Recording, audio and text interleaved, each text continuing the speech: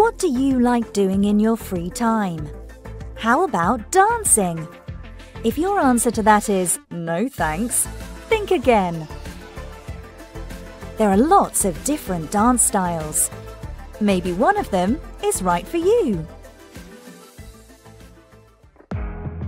Lizzie does street dance. Street dance is relaxed and fun.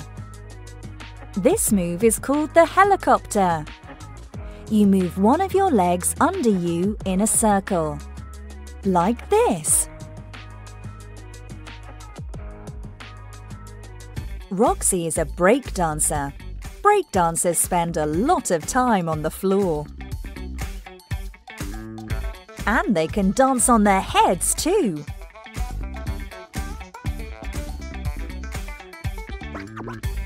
Let's learn how to do a classic breakdance move, the backspin. Are you ready? Sit on the floor like this. Kick your left leg and go back onto your shoulders.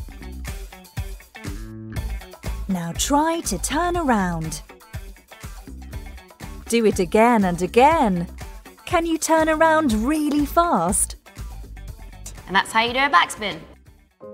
Here's Lizzie again. She can do ballet too. There are lots of classic ballet positions.